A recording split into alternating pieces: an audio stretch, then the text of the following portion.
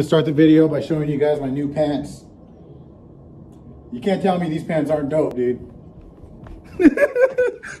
um, day two, sober October. it was better in some ways and worse in some ways.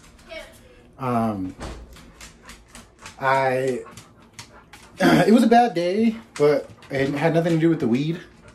And the only reason it was a bad, the only time it was a bad day was later in the day. Basically, my wife and I got in an argument, and it's some bullshit. And um, that sucks. I hate when that happens. But I can say confidently that it really didn't have to do with smoking weed.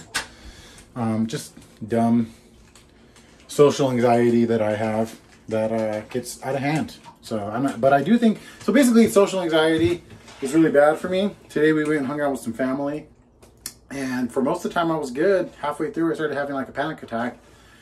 And sometimes when that happens, I start texting my wife like stupid, like dumb shit. And the thing is, is that I have that that social anxiety no matter if I'm smoking or drunk or not. Um, if anything, what I learned today was that weed was not helping with my social anxiety. And if anything, I think that maybe the weed still in my system or, or whatever as it's leaving my system um, I think that that that uh, I don't know my dependency on weed might add to my social anxiety, and uh, even though I didn't smoke today, it may still be a process before I can actually you know get back to normal. I didn't really mention that, but social anxiety is one of the bigger reasons why I'm taking this break. I want to be able to hang out with my family and my friends and go places and not freak out and And I, I, do think that smoking so much fucking weed all the time really got me to a place where I just didn't want to be around anybody. And I still don't.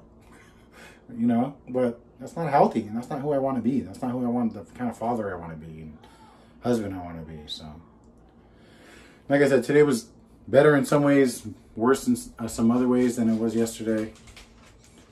I think because I had so many distractions, I was able to kind of to not think about it. I really didn't think about it. I, I woke up and I went and did a 500 calorie workout this morning though too, and maybe that had a lot to do with it. Um, either way, today was a good day. Um, yeah, I don't know. I, am I'm, I'm, I'm a lot more hopeful about this month uh, as I'm talking to you now. And yeah, that's it. There were times where it was hard, but I got through it. We we're, we're, we're here. So. Hope you guys are doing well. Uh, peace be with you all. I love you all. And uh, see you tomorrow.